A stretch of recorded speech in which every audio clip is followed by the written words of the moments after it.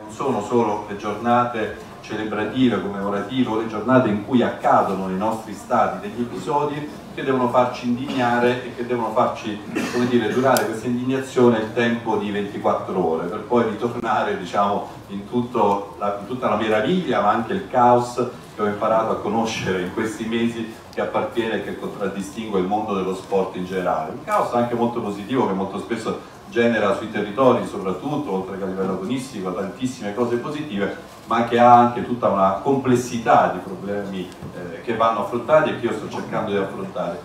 Il tema di tutto ciò che concerne il razzismo, l'antisemitismo eh, e tutto ciò che, di cui stiamo discutendo oggi, io vi posso assicurare che è una delle cose che dal primo giorno ho iniziato a curare con grande attenzione, proprio per risvegliare un po' tutti da questa assuefazione per la quale se accade una cosa quasi ormai la tolleriamo o quasi come dire soltanto una questione poi diventa uno scherno, ma tutto sommato diciamo che tanto si è sempre fatto così quasi come se appunto, come diceva anche prima il Presidente Cremina, il fatto che nelle curve, a volte negli stadi accadano delle cose, sia una cosa quasi di costume, che poi che si è sempre fatto la possiamo continuare a fare. Deve essere chiaro che quel periodo deve ed è finito, deve essere chiaro che rispetto a quei tipi di, di, di, atteggiamenti non deve esserci nessun tipo di tolleranza, ma soprattutto nessun tipo di sottovalutazione del problema. Guardate, gli stadi che io sto frequentando tantissimo in questi mesi come mai prima d'ora, ovviamente, ehm, sono inevitabilmente uno spaccato anche per la molteplicità proprio di persone che partecipano, per esempio, la domenica a una partita, dello spaccato anche del, del nostro paese, dell'Italia, delle nostre abitudini, eh, del nostro modo di essere, di fare, e lì poi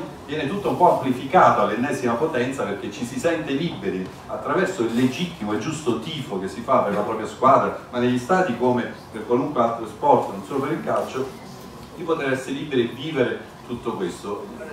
Però tutto questo deve avere un limite, tutto questo deve trovare il limite nel rispetto costante e continuo per tutti, nel rispetto costante e continuo per quei valori che lo sport dice sempre di voler testimoniare, salvo poi a volte tollerare alcuni atteggiamenti, tollerare alcune cose oppure appunto ritrovare che anche all'interno dello sport, come è capitato in questi mesi, esistono situazioni eh, poco chiare, poco trasparenti o che non rendono onore al mondo dello sport. Allora io credo che questa scossa che oggi ci viene, eh, grazie all'unione delle comunità ebraiche italiane, deve essere però una scossa che noi dobbiamo sentire ciascuno per il proprio ruolo costantemente mi dispiace, il mio non è solo un intervento così di vogliamoci bene e cerchiamo di fare bene questa giornata, è un richiamo perché ne approfitto, visto che trovo tantissime rappresentanti di questo mondo oggi qui, un richiamo veramente costante a tutti quelli che hanno responsabilità, a partire da me stesso evidentemente, ci siamo riuniti con il Presidente Gravina, con tutte le altre eh, realtà che possono fare delle cose, il progetto di cui parlava con l'utilizzo di nuove strumentazioni tecnologiche è evidentemente un progetto al quale io tengo molto, il Presidente Gravina lo sa, e al quale darò insieme alla Ministra dell'Interno Lavorgese,